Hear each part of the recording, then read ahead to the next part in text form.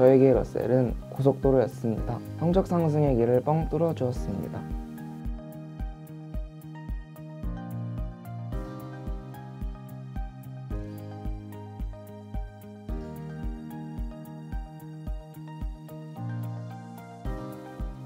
안녕하세요. 2020학년도 수시 모집 일반 전형으로 고려대학교 중어중문학과에 합격하게 된 공운용입니다.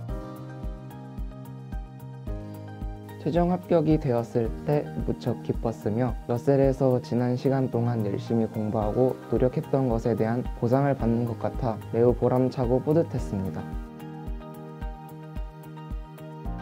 저는 수험 기간 동안 학원에서 의무적으로 강의를 듣는 것보다 스스로 계획을 세워 자율적으로 공부를 하고 싶었기 때문에 일반적인 재종학원 대신에 자습 위주로 시간표가 편성이 되어 있고 자신이 계획한 대로 강의를 들을 수 있는 환경이 마련된 러셀을 선택하게 되었습니다. 모든 과목이 아닌 자기에게 부족한 과목만을 선택하여 여러 선생님들의 커리큘럼을 참고해 강의를 듣는 것을 선택할 수 있어서 좋았고 강의실이 자습관 바로 옆에 위치해 있어서 자습을 하고 나서 강의를 들으러 가거나 강의가 끝나고 자습을 하러 갈 때 매우 편했으며 이동하는 시간을 절약할 수 있었습니다. 아랍어를 가르치시는 하미드 선생님이 기억에 남습니다. 수업 때 매주 단어 시험을 보았으며 선생님께서 중요 단어나 포인트들을 내외 새겨질 때까지 강조하시고 아랍 문화나 수업 내용을 쉽고 재미있게 가르쳐 주셔서 많이 도움을 받았습니다.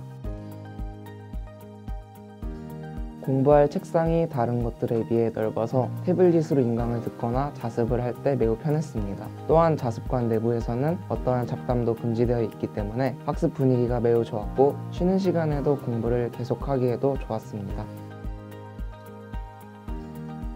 학생들이 공부를 하는 것에 도움을 주기 위해서 학생들의 의견을 참고해 직접 여러 프로그램들이나 방식들을 계획하여 실행하시고 수시 정시 상담이나 자소서 첨삭 등 여러 방면으로 도와주셨습니다. 학생들의 성적 향상을 위해 위로나 쓴소리들도 하시며 정말 잘 되기를 바라는 마음으로 뒤에서 항상 응원해 주셨습니다.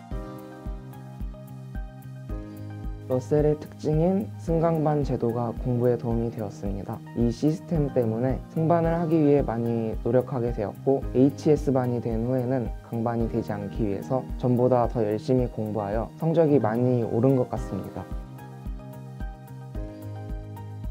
저는 수험 생활에서 꾸준함이 가장 중요하다고 생각합니다. 재수를 시작하고 나서 처음에 펜을 잡을 때, 봄에 날씨가 좋을 때, 여름에 더울 때, 가을에 체력이 떨어졌을 때 공부에 집중하기 힘든 것 같습니다. 저는 힘들어도 아프거나 중요한 일이 아니라면 학원에 나와서 공부하려고 노력했습니다. 이렇게 꾸준하게 공부하여 좋은 결과를 거둔 것 같습니다. 수험 생활은 주변에서 말하는 것처럼 마라톤 같은 장기 레이스이기 때문에 모의고사의 결과에 너무 일희일비하거나 초반에 너무 무리하지 않았으면 좋겠습니다. 그렇게 꾸준히 하다 보면 분명 자신이 목표한 결과를 이룰 수 있다고 생각합니다. 저에게 박용빈 담임 선생님은 자동차였습니다. 고속도로를 이용해 차가 잘 달려 목적지까지 도착하는 것처럼 학원을 통해 담임 선생님께서 제가 목표를 이루도록 도와주셨습니다. 저에게 러셀은 고속도로였습니다. 성적 상승의 길을 뻥 뚫어 주었습니다.